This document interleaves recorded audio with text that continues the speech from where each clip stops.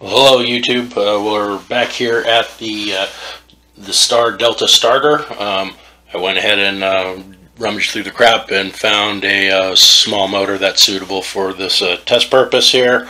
Uh, so what's going on, this is the exact same system in the last video.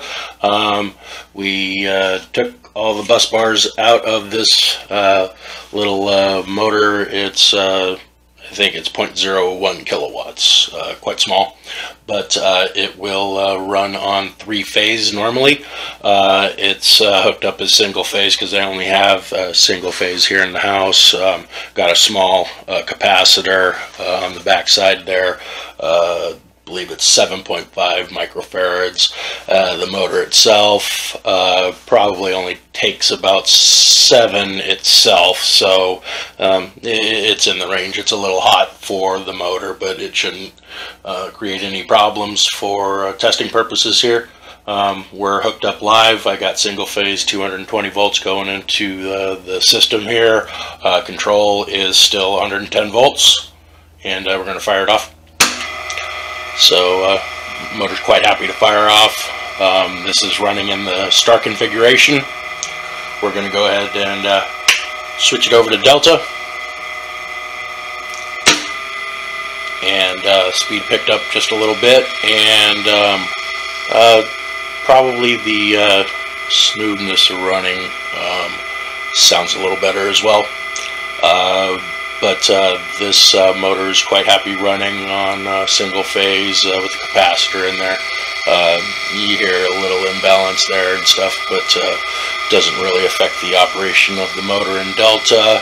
Um, probably don't develop the full horsepower and all that good stuff, but uh, for testing purposes, this is what we got. So we'll go ahead and run through the starting. This is uh, going to be an automatic start. It's going to start in Y and then switch to Delta automatically.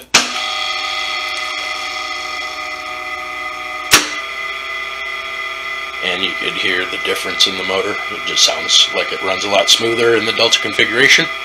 Um, something to keep aware uh, that you can run these uh, single, these uh, three-phase motors on single phase.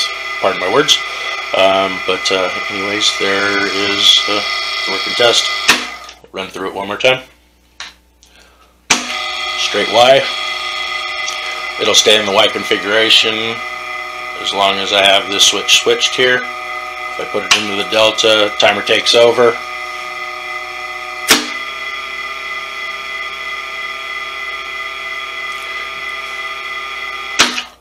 Everything shuts down and uh, We'll go ahead and test the uh, overload. It's going to start. Delta overload shuts everything down. Um, it needs to be reset.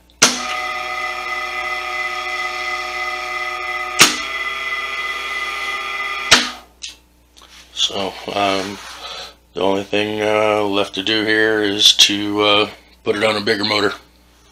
Thanks for watching.